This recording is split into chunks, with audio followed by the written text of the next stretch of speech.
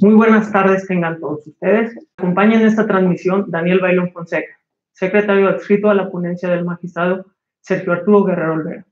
Nos encontramos en vivo desde el Pleno de la Sala Regional Guadalajara del Tribunal Electoral del Poder Judicial de la Federación. En unos minutos más se llevará a cabo la decimosexta sesión pública de revisión de este año. Así, los integrantes de este órgano jurisdiccional resolverán 10 medios de impugnación relacionados con los estados de Jalisco, Durango, Baja California, entre otros. A continuación, eh, empezará la sesión. Gracias por acompañarnos.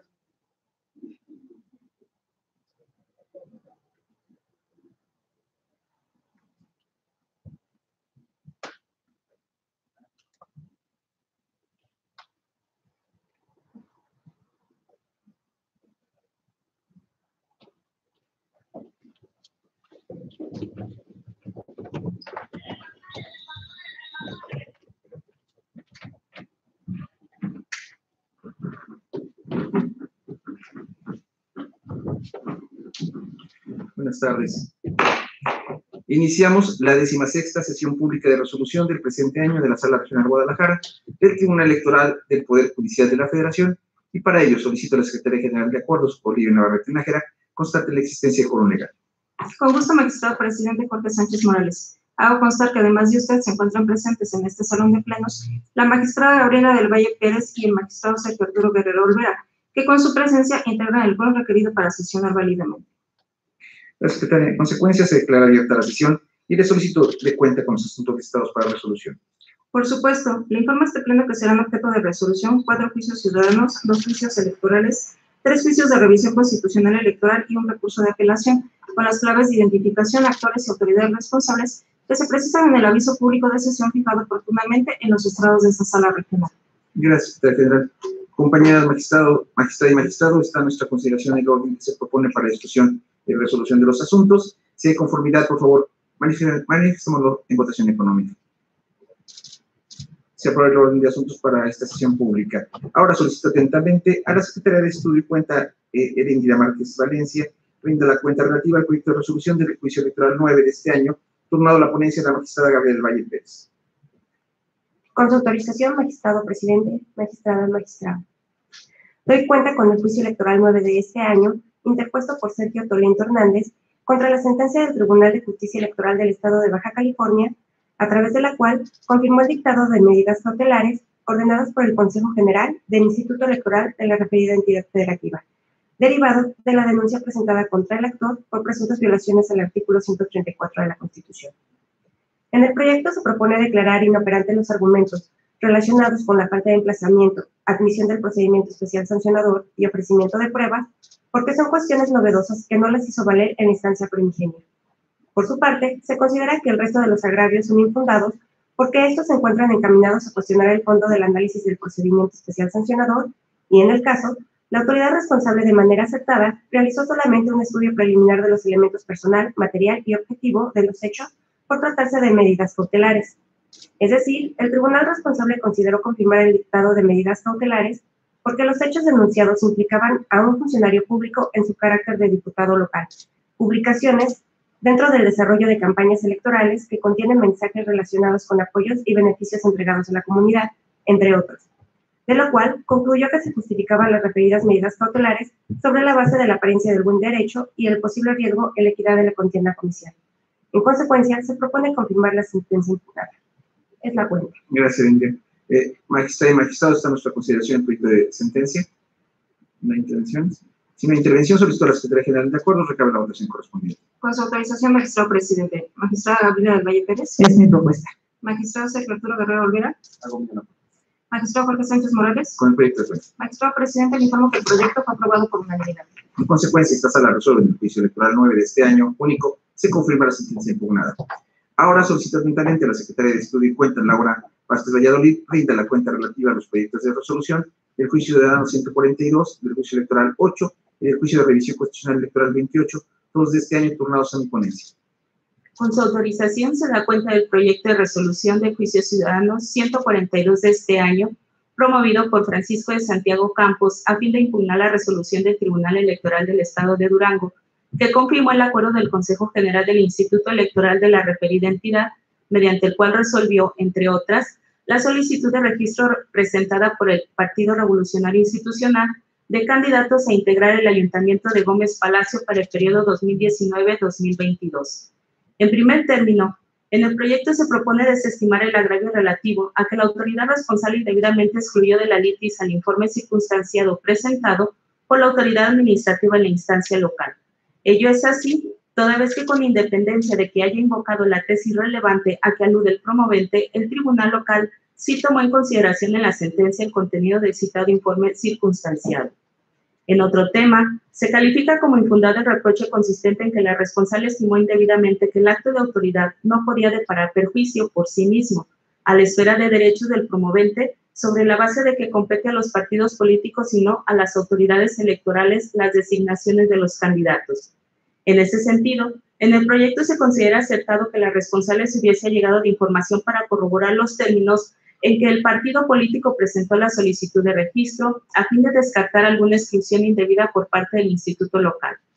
Por su parte, se considera inoperante el planteamiento relativo a que el Instituto Electoral debió tomar en cuenta que el Partido Revolucionario Institucional omitió llevar a cabo un proceso interno conforme a sus estatutos. Ello, pues contrario a lo que afirma en su demanda, el actor no se dolió en la instancia local de que su partido político hubiera incurrido en dicha omisión, de ahí que se trate de un agravio novedoso ajeno a la controversia que le fue sometida al tribunal local. Finalmente, el agravio consistente en que el tribunal local no le dio oportunidad al actor de ofrecer pruebas con posibilidad a la presentación a la demanda se propone infundado, debido a que, como se detalla en la consulta, la legislación aplicable al caso que nos ocupa exige que, salvo en el caso de que sean supervenientes, las pruebas deben de, ofrecer, de ofrecerse dentro de los plazos para la interposición o presentación de los medios de impugnación, de ahí que no resulta jurídicamente válida la emisión de requerimientos como los indica el promovente. Por tanto, en el proyecto se propone confirmar la resolución impugnada. Continúo con el proyecto de juicio electoral 8 de este año, promovido por BC Tenedora Inmobiliaria a través de su representante en contra de la sentencia dictada por el Tribunal de Justicia Electoral del Estado de Baja California el 17 de abril del año en curso, por la cual revocó el dictamen número 4 por el que se determinó la intrascendencia para la vida pública del Estado de la solicitud de plebiscito, así como el punto de acuerdo por el cual se declaró la improcedencia de esa solicitud por parte del Consejo General del Instituto Estatal Electoral de Baja California. En el caso, el magistrado oponente estima parcialmente fundado los agravios insuficientes para revocar la sentencia impugnada, debiendo prevalecer lo resuelto por el Consejo General del Instituto Local en el dictamen número 4 y el respectivo punto de acuerdo, ante la notoria improcedencia de la solicitud de plebiscito. Esto es así, pues como lo aduce el actor en su demanda, el tribunal local en su sentencia no atendió debidamente al objeto de dicha autorización, pues se trata de una resolución administrativa que plantea esencialmente la plausibilidad técnica de la manifestación de impacto ambiental en la construcción y operación de una planta cervecera. Por tanto, pretende la revocación de un acto técnico administrativo mediante un proceso plebiscitario pese a que pudo ser materia de controversia mediante el recurso de revisión o que en su momento de impactar de manera negativa en el medio ambiente, puede ser modificado o revocado por la autoridad competente, atenta directamente contra el principio de legalidad y derechos constitucionales contemplados por los artículos 14 y 16 de la Constitución Federal. En ese sentido, es incorrecto pretender someter mediante un mecanismo de participación ciudadana una autorización en materia ambiental otorgada por autoridad competente, pues contrario al aducido por la responsable, la Secretaría de Protección al Ambiente constituye un derecho en favor de BC Tenedora Inmobiliaria sobre la base de factibilidad y sustentabilidad técnica para construir y operar una empresa con base en el impacto ambiental. Consecuentemente, resultan correctas las afirmaciones del Consejo General del Instituto Local de que, en el caso el hecho se trata de un acto administrativo cuya realización fue obligatoria para la autoridad competente, así como que el acto que se pretende someter a plebiscito incide en una limitación a la propiedad particular debe ser tenedora inmobiliaria. Por último, doy cuenta con el proyecto de sentencia para resolver el expediente relativo al juicio de revisión constitucional electoral 28 de este año promovido por el partido duranguense a través de su representante ante el Instituto Electoral y de Participación Ciudadana de Durango a fin de impugnar la sentencia emitida por el Tribunal Electoral de dicha entidad el 26 de abril del presente año en los autos de juicio electoral 11 del presente año.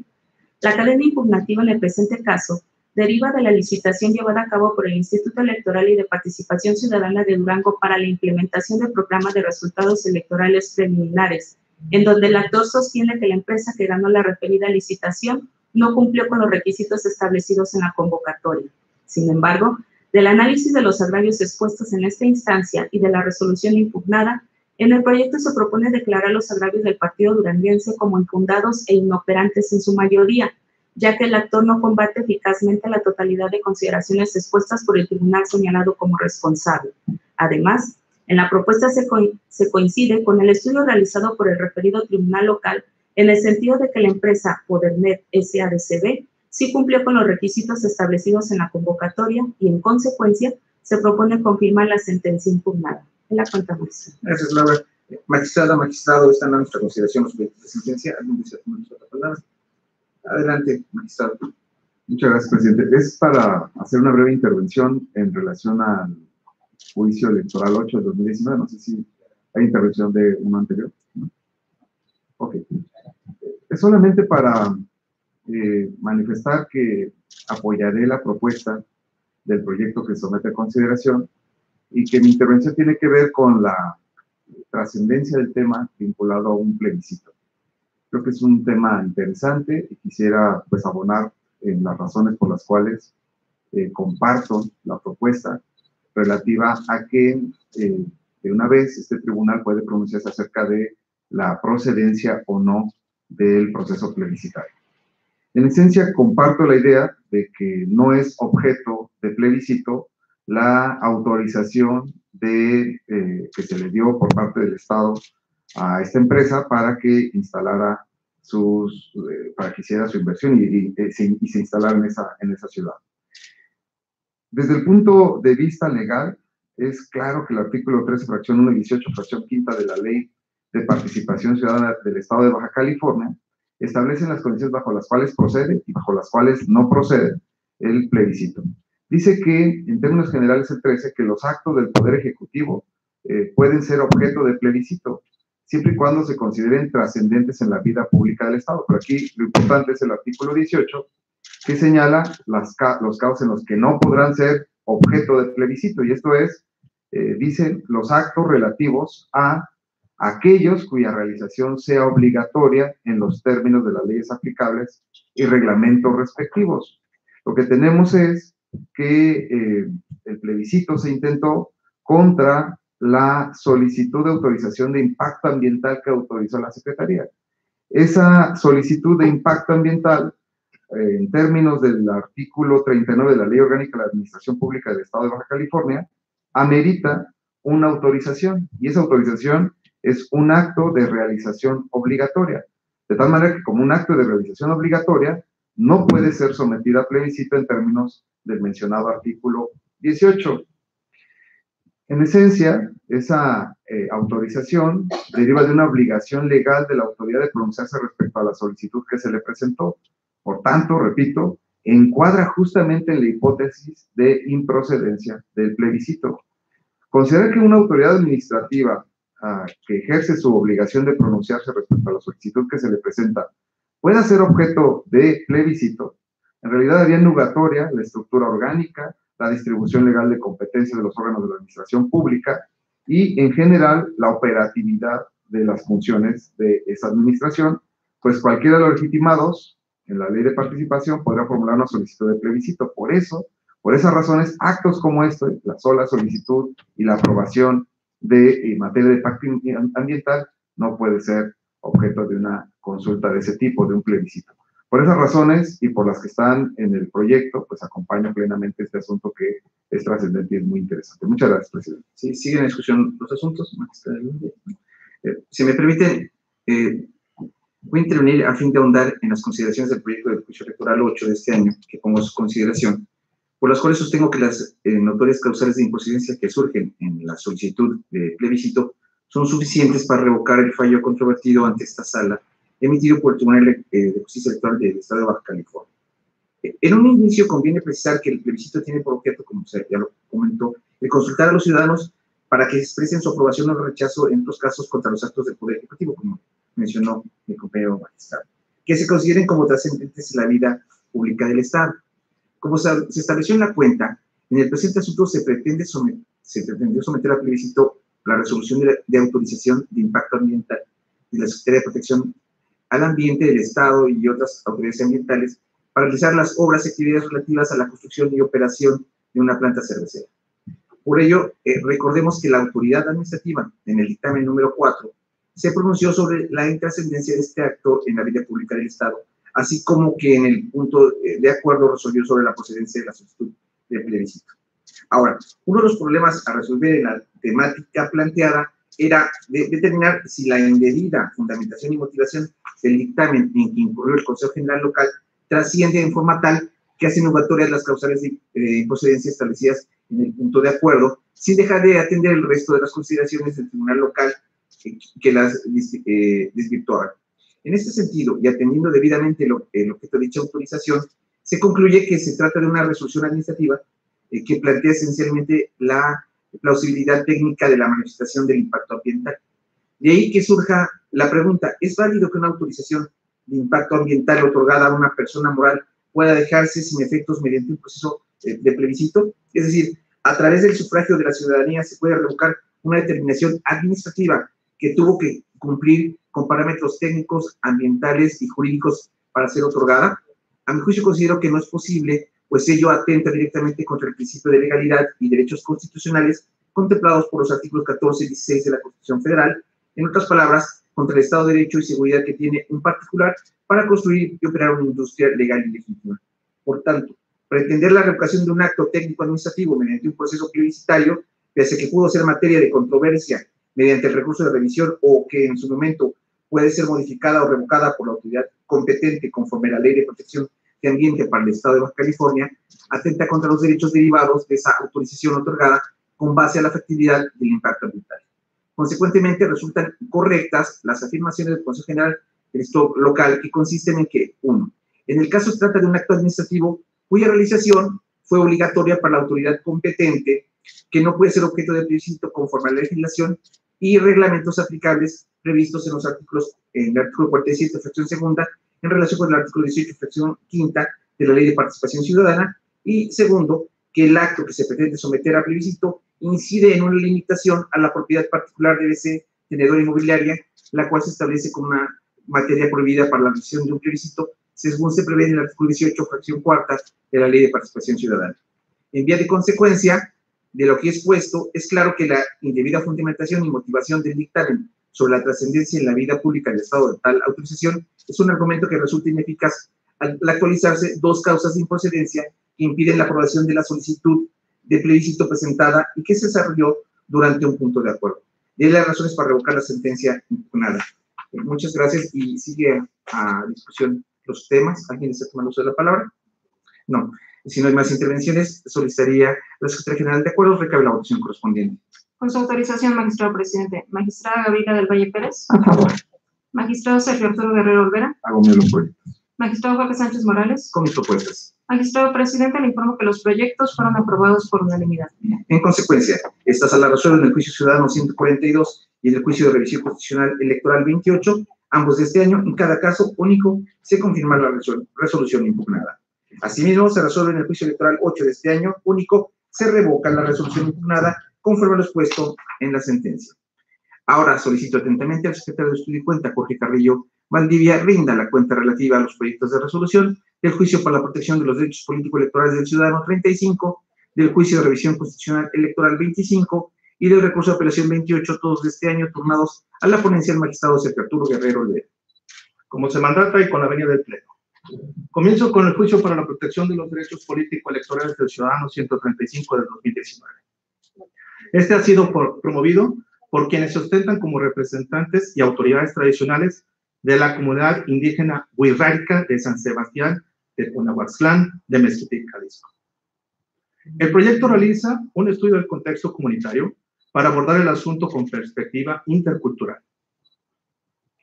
En cuanto a los agravios dirigidos a controvertir la insuficiencia de la acción declarativa y la orden de que sea el cabildo quien emita respuestas sobre su solicitud de recursos, se estima calificarlo de fundado por no tomar en cuenta la perspectiva citada para relacionarla con el contexto del asunto, además de encontrarse indebidamente fundado y motivado, lo concerniente a quien debería contestar dejando de lado, como se dijo, el contexto aludido, entre otras razones.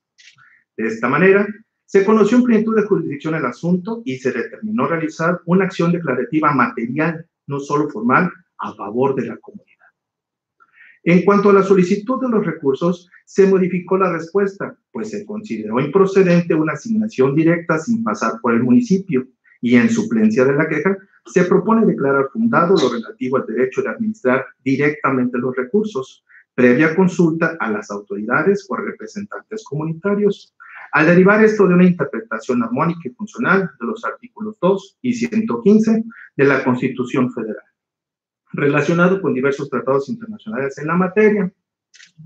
En dicha consulta, se considera un diálogo a través de sus representantes comunitarios o tradicionales y el ayuntamiento, con la participación de diversas dependencias estatales, por lo que se trazan una serie de efectos y lineamientos para este fin, según se detalla en la consulta. Fin de esta cuenta. Sigo con el proyecto del juicio de revisión constitucional electoral 25 de 2019, promovido por el partido político Transformemos, a fin de impugnar del Tribunal de Justicia Electoral del Estado de Baja California el acuerdo plenario emitido en el recurso de inconformidad 42 del 2019. La consulta propone confirmar el acto reclamado a saber.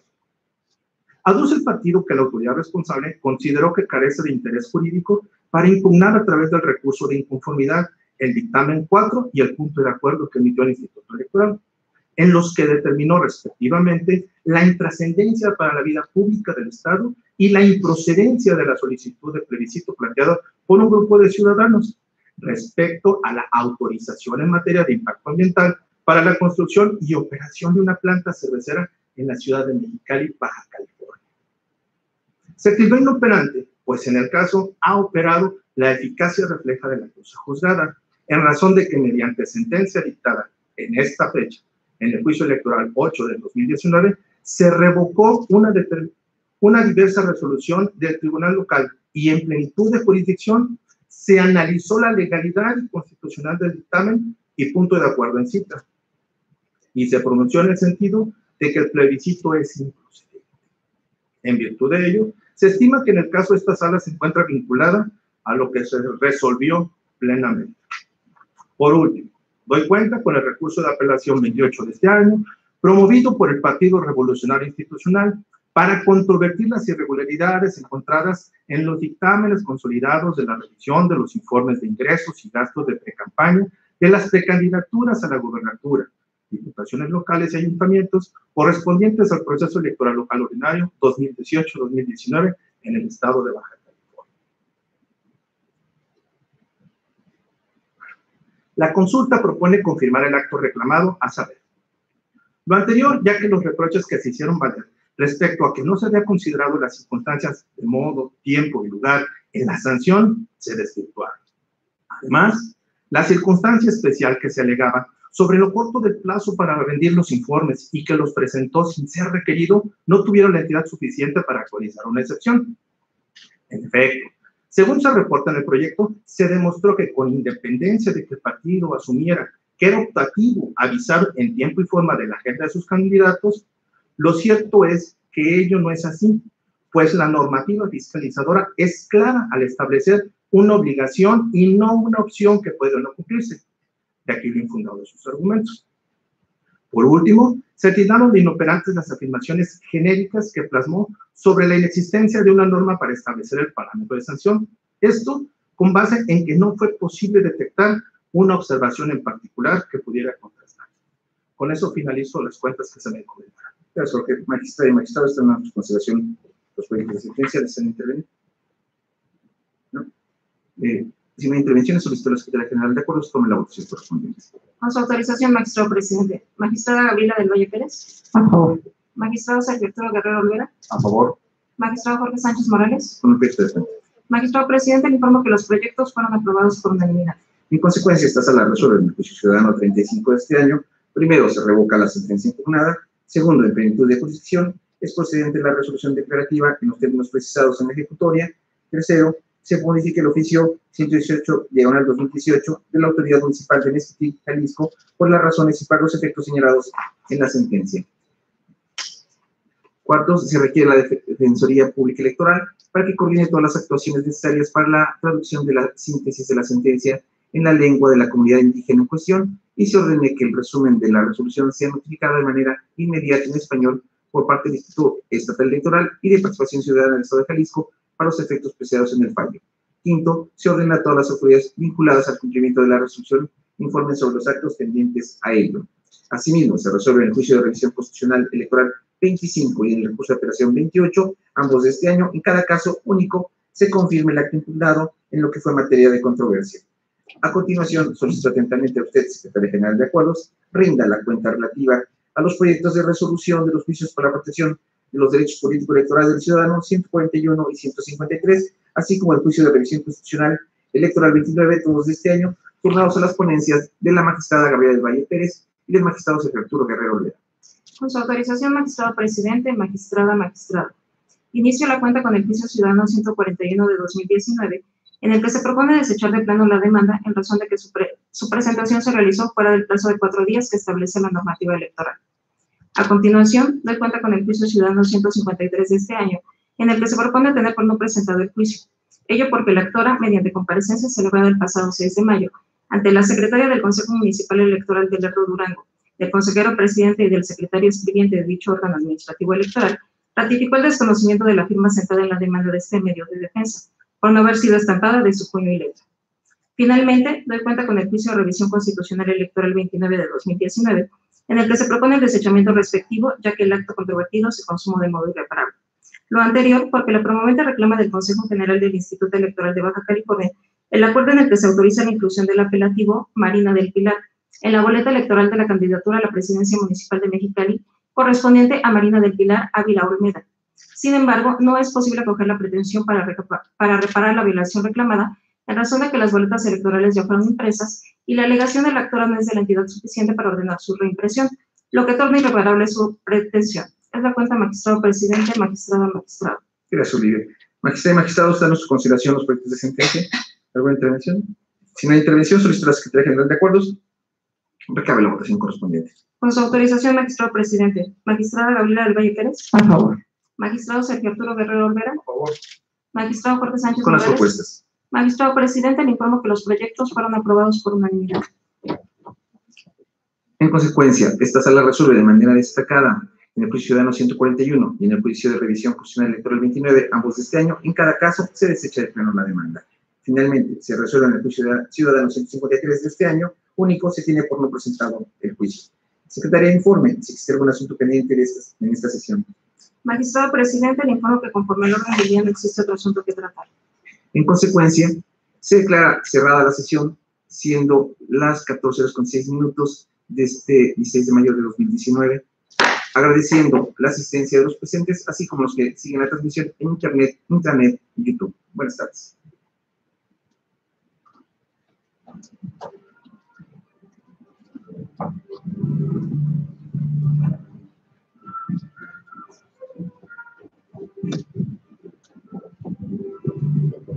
Thank you.